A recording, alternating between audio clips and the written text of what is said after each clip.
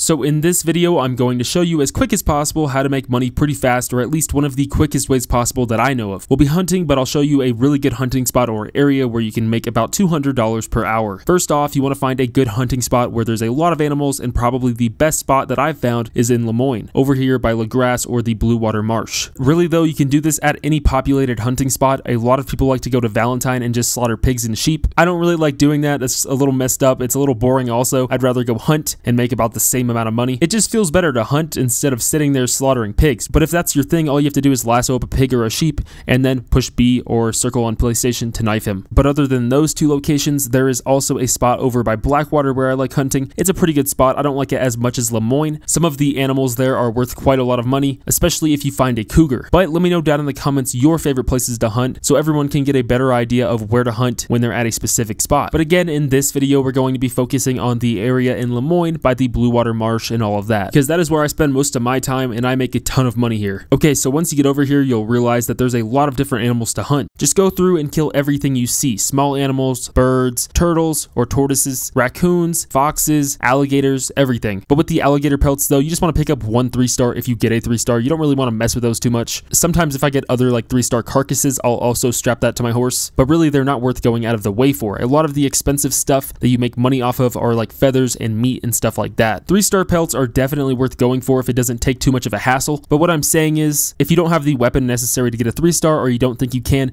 just kill the animal. Kill every animal, every one star, two star, and all of that. The pink birds over here, I think they're called spoonbills. I think those are the pink ones. Their feathers are worth a pretty good amount of money. I always go for those first if I see those. After you kill as many animals as you can carry on your horse and in your satchel, head over to the butcher, the closest one being in St. Denis. I did this twice just now. The first time I just hunted in this area here and spent less than 10 minutes hunting and traveling, and I made a little over 30 bucks. The second time I did it, I went through here, more through like the middle of the marshy area, and then went east to the coast where I first hunted, and I spent a little under 20 minutes doing this and made about 70 bucks. Just make sure when you're taking your stuff back to the butcher, you don't run into a couple of guys that are trying to rob you. But that's pretty much it, guys. Let me know down in the comments your favorite hunting spots or your favorite ways to make money. This isn't the only good hunting spot. There's actually quite a few out there. And if you guys want, I could go over like a bunch of them in one video. Fishing is also a really good way to make money. And if you want, I'll make a video on that. Treasures are also really good. I have quite a few videos on those. But thanks for watching, guys. See ya.